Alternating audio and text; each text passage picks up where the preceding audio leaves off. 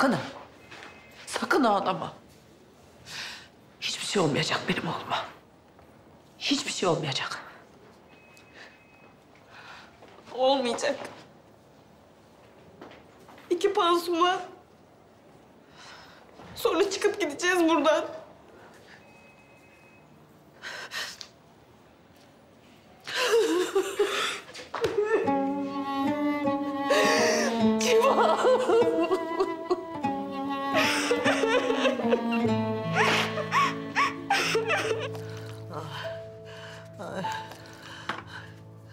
Açmıyorlar işte. Ay, açmıyorlar telefonu. Ay, ne anan, ne abla. Cevap vermiyorlar. Ay Allah'ım. Ay Allah'ım aklıma mukayyet. Nasıl bir gece bu babaanne? Nasıl bir gece ya?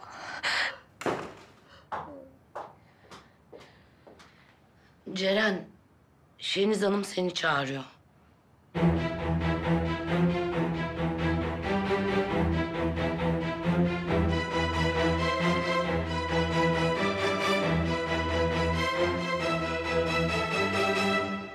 Yok yok.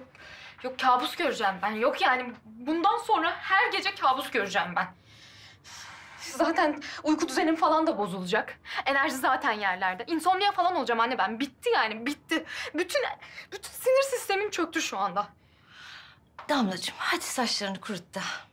Yat yatağına tamam mı? Aha ben Nurten Hanım'a söyleyeyim de sana rezene kaynatsın. Rezene diyor ya.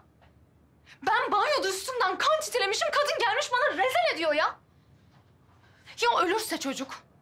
Ya çoktan öldüyse? Benim yüzümden öldüyse? Ya benim yanımdayken ölüyse zaten ben eve ceset falan taşıdıysam? Damlacığım ölmüş olsaydı ambulanstaki doktorlar fark ederdi herhalde değil mi?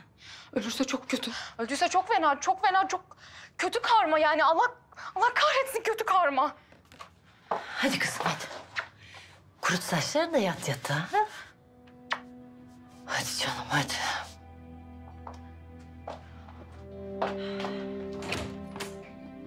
Ölmemiştir ya. Ölmesin yani mümkünse ölmesin yani. Hay Allah, sofrada buz kesti. Söylendiğime bakma. Ama benim de sinirim, asabım bozuldu canım. Babaanneni şey etmeyeyim diye sormadım da... ...küssek de biz de insanız yani. Üzüldüm, içim ezildi. Var mı abinden bir haber? Ceren, sana soruyorum. Çatı katına çık bekle. Neyi bekleyeyim?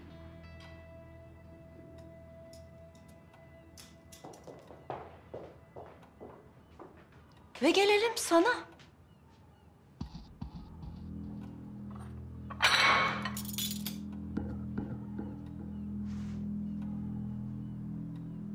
Eşinizle konuşamadınız herhalde. Tabii. Kızınız yüzünden benim kardeşimin başına yine bir bela geldiği için vaktiniz kalmamıştır diye düşünüyorum. İtiraz etmeyeceksiniz herhalde. Damla yüzünden olduğunu anlamak için dahi olmaya gerek yok. Eşiniz bu gece bu konuyla ilgilenir. Ama yarın gündeminde ben olacağım. Siz dua edin, benim kardeşimin başına hiçbir şey gelmesin. Susup bakmak için çağırmadınız herhalde beni değil mi? Kusura bakmayın ben burada durup sizin konuşmanızı bekleyecek değilim. Kardeşimden haber bekliyorum ben. Onun dışındaki her şeyi yarına bıraktım. Sen kendini dahi sanan bir aptal mısın yoksa psikolojik problemlerin mi var? Şuursuz megalomani falan gibi. Samimiyetle soruyorum. Bu bir çeşit şov mu? Yoksa daha vahimi sen gerçek misin? Yeter. Şeyniz Hanım yeter.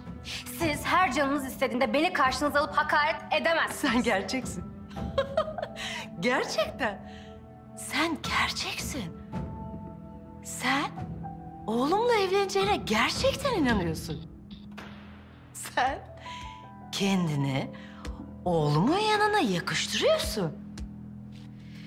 Siz beni o mükemmel soyadınıza da, o dünyanın sekizinci harikası oğlumuzun yanına da sabaha kadar yakıştırın. Yakıştırmayın. Ya babası yakıştırdı benim diyorum babası. Üstelik üstüne para verecek kadar yakıştırdı. Babası yakıştırdı. babası üstüne para verecek kadar yakıştırdın. Peki ama kime? Seni kime yakıştırdın? Hadi gel. Gel de göstereyim. Kanalımıza abone olarak tüm videolardan anında haberdar olabilirsiniz.